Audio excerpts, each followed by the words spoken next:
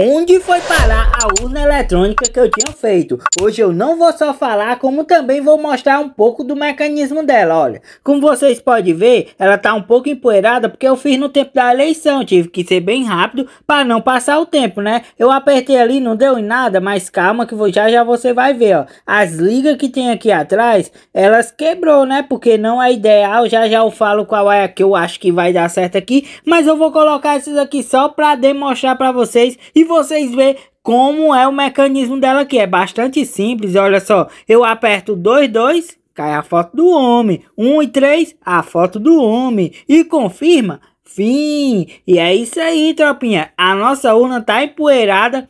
Mas logo, logo vai ficar boa. Essa liga não presta. A que presta, eu acho que é aquelas de estilingue, né? Não? Olha só. Para ativar, eu vou demonstrar aqui, ó. Você segura o botão, puxa a cordinha e solta, né? Aí já aqui, ó.